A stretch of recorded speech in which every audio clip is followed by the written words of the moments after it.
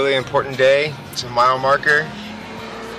I get to let go of something that um, I had a lot of fun doing at first, and it became the biggest bill, endless bill that I've ever had in my whole entire life. Um, every day I was dreaming of slots and noises and jackpots, and uh, it just it took me over. So. Um, I'm looking forward to having a savings account again, having a checking account again. I'm looking forward to payday, the next payday, when uh, my check uh, can go to pay what it's supposed to pay, and um, and a few more paychecks that'll be mine to do what I want with. Um, maybe go shopping, go uh, house shopping, car shopping, who knows.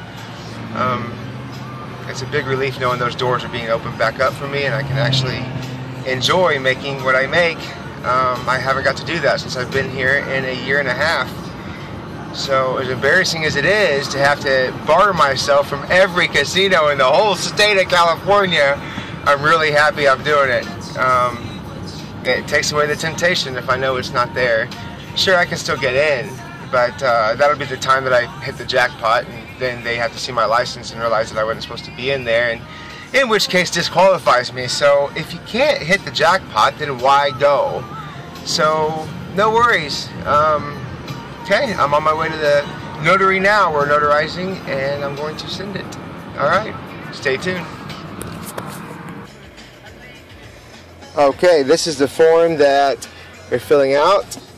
I've already filled it out. It's on electronic form, and it's going to gambling control. And you've already see that I barred myself. Where was the option? Oh yes, one year, five years, or for a lifetime. I chose lifetime. If I have a problem now, chances are I'm going to develop a problem again. So, why chance it, right? So, I am here now. This is my friend Jesse's. Uh, I'm also sending his off today. And there's the envelope for mine.